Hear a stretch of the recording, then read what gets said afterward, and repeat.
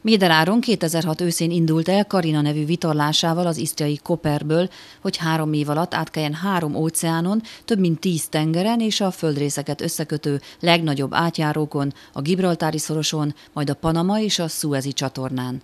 Teljesen egyedül tette meg az utat a 6 méter hosszú, 2 méter széles hajóval, amelyet leselejtezetten vett és édesapjával együtt újított fel hétvégenként a nagypapa kertjében. Áron nem kalandor, hanem világutazó. A nagy tengerészek legnemesebb erénye a kíváncsiság hajtotta mindvégig, hogy mit bír ő, mit bír a hajója, és mit tartogat neki a távoli tenger, sziget és part. Bár még csak 30 éves, a vitolázás nem ma kezdte, kisgyermekkorától hajózott édesapjával a Balatonon, Almádiban, és egyetemistaként négy évig Füreden a Mafcban is.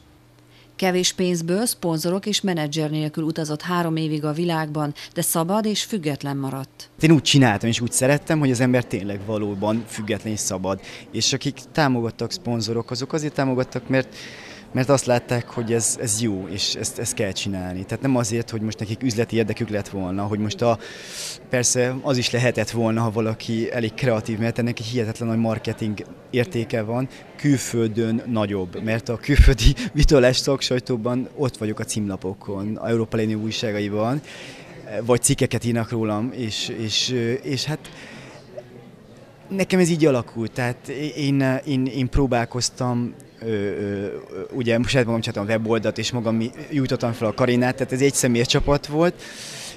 Ez így spontán módon alakult, tehát volt egy spontán dolog, ez így fejlődött én, én nem ítélem el, akiknek van menedzsék és komolyan csinálják. Tehát én nem akarom ezt, én, nekem így jött ez össze, mert ilyenek voltak a lehetőségek. És így, így talán a legtöbb ember számára élőszerű és, és, és, és életszerű, és nem egy megcsinált dolog, hanem valódi független ember, aki nem, nem egy, egy, egy, egy, egy valamilyen cég vagy, vagy más, és azokat a üzeneteket kell képviselje, amit ők mondanak, azt az üzenetet akarom mondani, amit nekem van kedvem itt mondani például.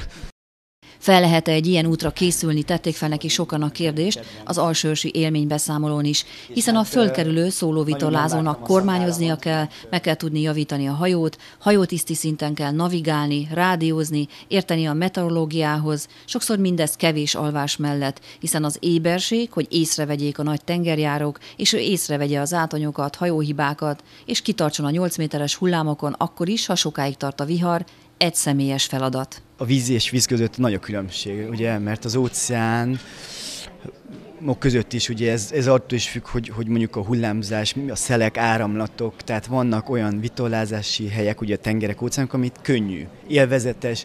A trópuson például már nincs olyan hideg. Ősszel az Adrián így hideg van, például akkor az ember megfáztam többször, az nem jó.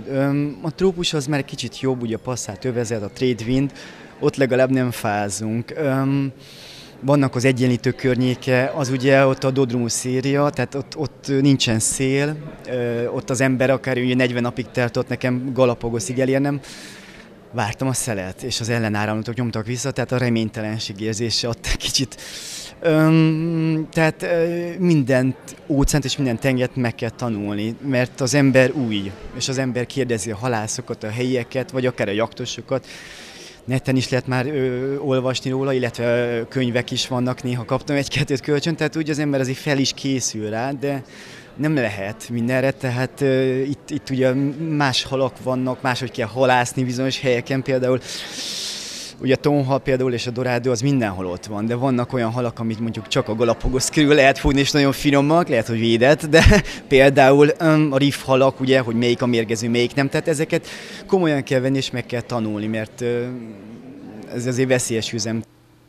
Héki Moana, óceáni szörfös hívták így Tahitin, Kumi Eroni, szakállas áron nevezték Fidzsin, és Lokó, azaz őrült, egyszerűsítették le a nevét Galapagoszon Méder Áronnak, aki mindenütt jó barátságba került a helyiekkel. Nekem szerencsém volt, mert a kis hajó miatt az emberek érdeklődtek. Fiatal voltam, egy kis hajóval, hosszú szakál, hosszú haj, és furcsa dolgokat mondtam. Nem mindenhol szerettek, ez nem lehet mindenkit mindenhol szeretni, de, de a kíváncsiság az biztos ott volt, és segíteni is akartak, és voltak olyan emberek, akikkel, mit tudom, voltak közös pontok is, és emiatt kedveltük egymást, ugye?